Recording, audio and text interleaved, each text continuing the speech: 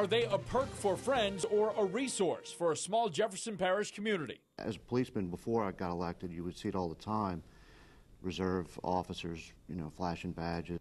So, just how many commissions has the city of Harahan handed out and to whom? WDSU I team reporter Travis Mackel explains who's planning to take action, calling the number of badges on the street excessive. He's been a blues brother, a ghostbuster, and a frequent visitor to the New Orleans area. And even though actor Dan Aykroyd doesn't live in Louisiana, he's also a reserve deputy in the Harahan Police Department. True or false, you actually carry a police badge? Well, I'm a reserve commander in Harahan, Louisiana. Aykroyd carries the badge, and his name appears on a list of police commissions handed out by Harahan Police Chief Peter Dale. I work with Chief uh, Chief Dale, and uh, he's a brilliant law enforcement uh, officer down there. It's one of the oldest police stations in Louisiana. And he isn't the only one on a list of people who hold police commissions in the small Jefferson Parish city. Even though the department has less than 30 officers, the I team has learned more than 100 commissions are in use. As a policeman, before I got elected, you would see it all the time. Reserve officers, you know, flashing badges. Mac Dickinson is a former Louisiana State Trooper and now police chief elect in Harahan. Dickinson and Mayor elect Vinnie Mosca take office in January.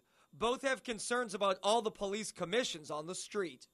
Anytime a police commission is given out, you have to worry about liability. So we want to make sure that those people that have commissions have the proper training, education. And Mosca says some in his town do not.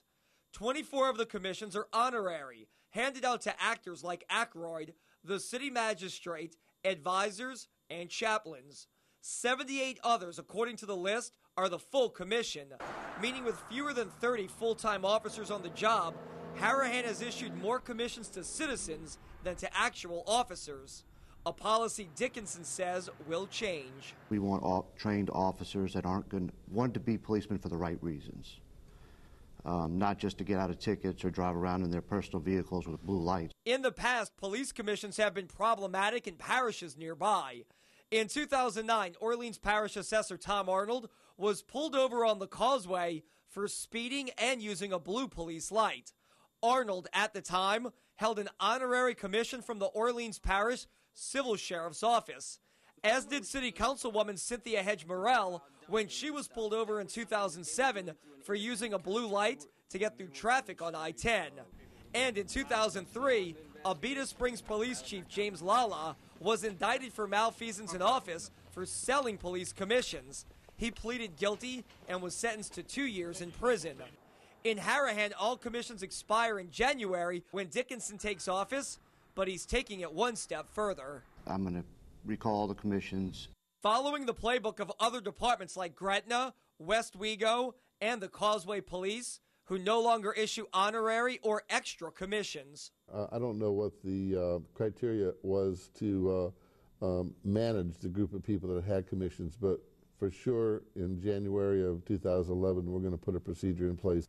Harahan Police Chief Peter Dale says he has no reason to believe anyone on this list who has a commission has done anything wrong or illegal with it. Several other departments, meantime, in the area do hand out honorary commissions. The Orleans Parish Sheriff's Office, St. Bernard Parish Sheriff's Office, and the NOPD under former Police Chief Warren Riley. We asked if that NOPD policy is still in place and haven't yet received an answer. To read the full list of everyone who has police commissions in Harahan, log on to WDSU.com and click on Seen on WDSU.